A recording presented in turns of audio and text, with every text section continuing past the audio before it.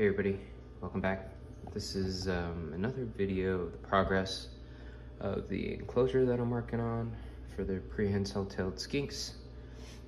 Um, you can see the first coat of grout that I laid down. I like it, I'm gonna add more. Um, today I'm just working on a little bit of the hardscaping, which is just driftwood, rocks. You can see I've spray foam them all into place kind of to create um, little rock piles.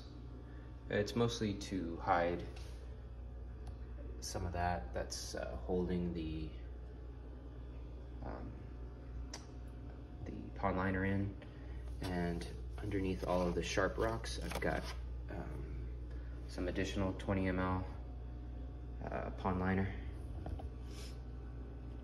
All these I dug up from my yard. I think this I found while herping somewhere. Uh, this piece right here I found on the beach. Yeah, but this is actually root from a large tree that used to once uh, live in my yard.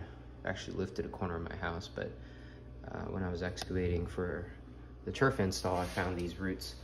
So I'm gonna use them in here rather than kind of check them out.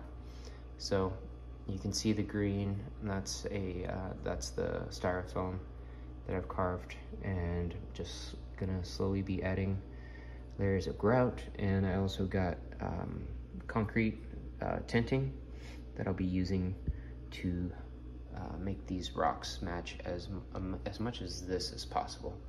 You can see some of that some of that rock actually has a bit of iron in it uh, right there. So um, once this gets a little bit more dry, I'll be mushing them in to collapse them. And then we can do a bit of carving or whatever later. But yeah, this is a new method I uh, saw on Serpa Design. So I'm gonna have to start doing that from now on. It beats, you know, having to get in here with the carving tool and getting that all carved up, so I'm okay with that. Sweet. Alrighty.